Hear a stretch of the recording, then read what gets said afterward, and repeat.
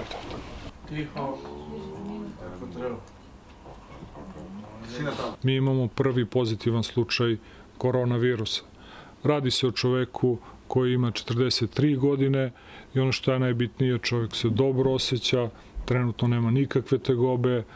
Radi se o čoveku koji je boravio u više navrata u, u Budimpešti, tamo mu živi sestra, ona je imala respiratorne tegobe, temperaturu i, i sve one znake koji su slični koronavirusu.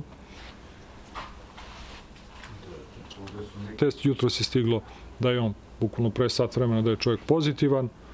On je već u izolaciji u bolnici u Subotici. E, naše nadležne službe već su e, stupile u dalji rad, uzete su za analize svih osoba koje su bile u, bile u kontaktu sa njim, znači sa njegovom, sa njegovom porodicom. Očekujemo u toku dana da dobijemo, da dobijemo i te analize.